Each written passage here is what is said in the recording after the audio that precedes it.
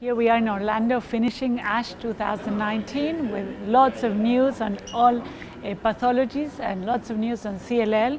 So should we go back and treat our patients differently, frontline patients with CLL?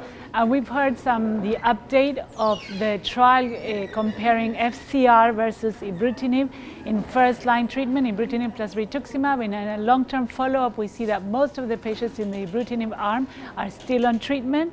So it seems like uh, only 7% of the patients had to drop off due to progressive disease, and there is a big difference in PFS and a difference in overall survival between these two groups.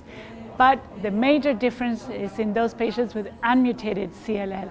So I think we do have to treat patients with unmutated CLL differently. There is no doubt about the benefit, and still there is some discussion whether there is still room for chemotherapy in those patients with mutated CLL.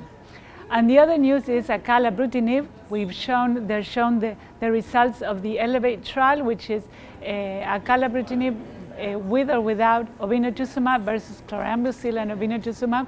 And here we also see a big uh, difference in PFS in favor of patients receiving a acalabrutinib, which uh, is a new option in fr uh, frontline treatment, and this is for patients, for unfit patients with CLL. But the big thing is to try to get an, a limited time treatment you know, not a chronic treatment. We all want some limited time.